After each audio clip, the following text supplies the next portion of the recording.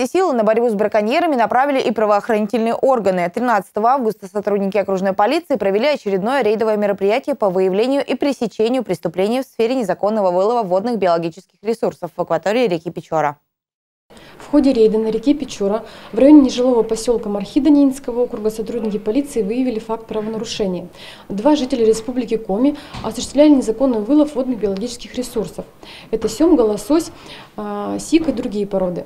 Сотрудникам полиции с места происшествия изъято около 300 килограмм рыбы, а также рыболовные сети, две лодки, катер и баржу, с помощью которой они осуществляли незаконный вылов водных биологических ресурсов.